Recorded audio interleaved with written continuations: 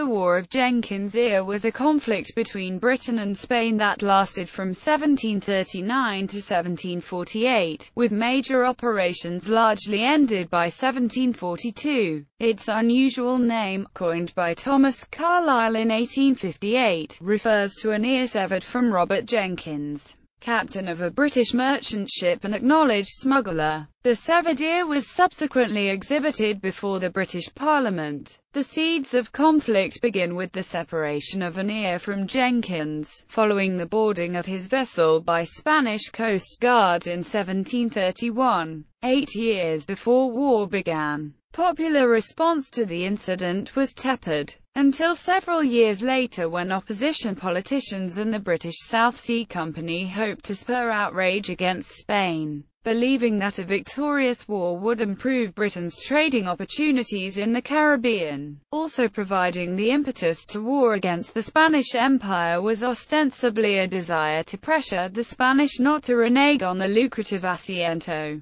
contract. The war resulted in heavy British casualties in North America. After 1742, the war was subsumed by the wider War of the Austrian Succession, which involved most of the powers of Europe. Peace arrived with the Treaty of Aix-la-Chapelle in 1748. From the British perspective, the war was notable because it was the first time that a regiment of colonial American troops was raised and placed on the establishment, made a part of the regular British Army, and sent to fight outside North America. Background at the conclusion of the War of the Spanish Succession, the Treaty of Utrecht in 1713 gave Britain a 30-year asiento, or contract right, to supply an unlimited number of slaves to the Spanish colonies, and 500 tons of goods per year. This provided British traders and smugglers potential inroads into the closed markets in Spanish America. But Britain and Spain were often at war during this period, fighting one another in the War of the Quadruple Alliance the blockade of Portobello and the Anglo-Spanish War. In the Treaty of Seville, following the Anglo-Spanish War,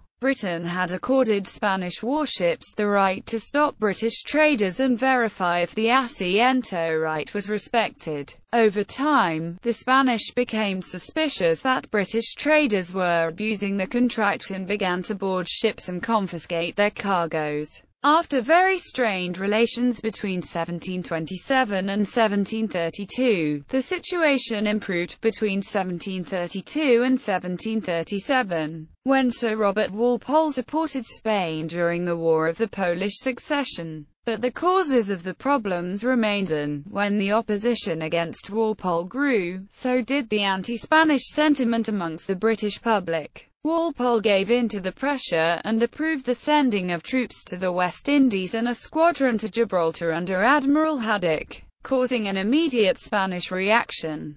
Spain asked for financial compensation, which led to the British demand to annul the visitation right, which allowed the Spanish to board English vessels to check for smuggled cargo, agreed to in the Treaty of Seville. In reaction, King Philip V of Spain annulled the Asiento right, and had all British ships in Spanish harbours confiscated.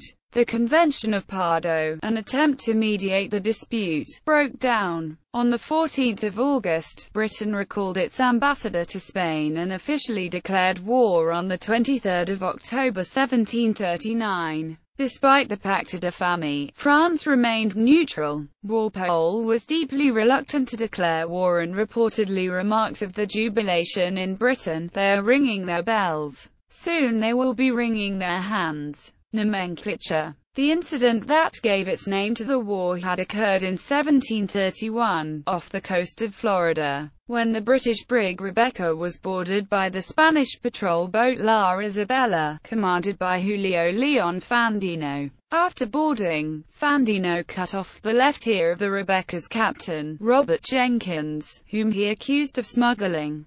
Fandino told Jenkins, Go, and tell your king that I will do the same, if he dares to do the same. In March 1738, Jenkins was ordered to testify before Parliament, presumably to repeat his story before a committee of the House of Commons. According to some accounts, he produced the ear as part of his presentation, although no detailed record of the hearing exists. The incident was considered alongside various other cases of Spanish depredations upon the British subjects, and was perceived as an insult to the honor of the nation and a clear casus belli. The conflict was named by essayist and historian Thomas Carlyle, in 1858, 110 years after hostilities ended. Carlyle mentioned Verrier in several passages of his History of Friedrich II, most notably in book Bookshi, Chap Vi, where he refers specifically to the War of Jenkins's ear.